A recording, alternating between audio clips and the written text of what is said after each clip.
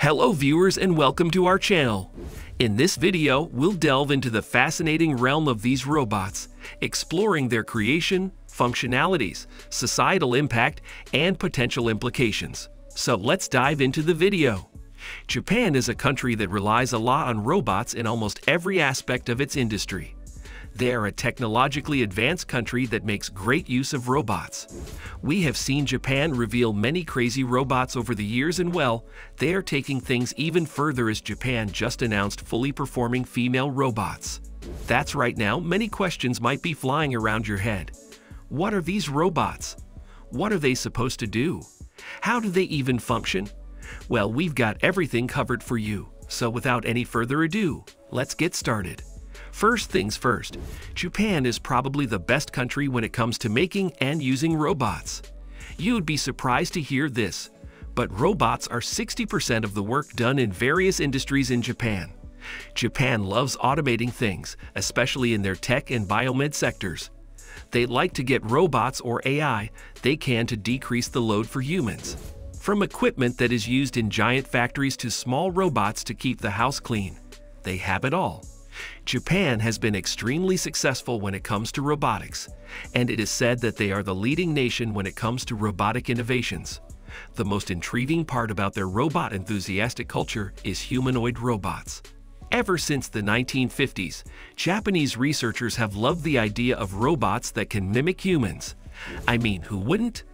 Like a robot that can talk, walk, and do pretty much everything we can with ease we have seen Japan bringing out as many variations of humanoid robots with different purposes. From robots that can be used in the hospital to carry patients to robots that can tell you if you have bad breath. Japanese humanoid robots are just crazy. However, with the recent development of artificial intelligence, robotic experts in Japan have taken their success in humanoid robots to a whole different level. These female robots are not ordinary robots. They are bio-robots. Now, what do I mean by this? Well, these robots can mimic a real human almost exactly. First of all, just look at the design. The way they move, talk, and express themselves. It is really hard to differentiate them from a real Japanese woman. Maybe it's their eyes where their blink isn't that natural. But apart from that, this robot just looks extremely real. Kudos to whoever made this design. You have succeeded. This robot broke multiple records. Just within a few days of launch, it sold out. They wanted to buy them, and they did the sales volume for this robot rose sky high. There is a reason for that though. Certainly, a product isn't just bought by someone because it went viral. It indeed has to be good, or else people would probably stop buying it once the bad reviews come out. It didn't happen. There weren't any bad reviews, this robot is completely different from any other robot ever built before. This is not your ordinary humanoid robot. Sure, some have looked quite good, but when you touch it, you can feel that metal eye or plastic finish every other robot has. The outsides and insides of this robot have been coated with silica gel, which is a special type of chemical that feels exactly like human skin. Moreover, this machine is not cold. Yeah, one of the worst things about humanoid robots is that they feel cold whenever you touch them, which doesn't give you that human. To solve this problem, the creators of this robot have equipped it with special sensors to give it that human feel of genuine warmth. It is said that many of the users, especially men, who stay inside most of the time, have shown interest in this product. Those who have experienced this have said that they no longer feel like they need a girlfriend after this. For them, the robot is perfect. People said love cannot be bought, but oh well, look at Japan. People are literally buying girlfriends. It's just that they're robots. Jokes aside, the insides of this robot are also well designed. It has a similar texture that a regular human would have. Technology sure has come a long way.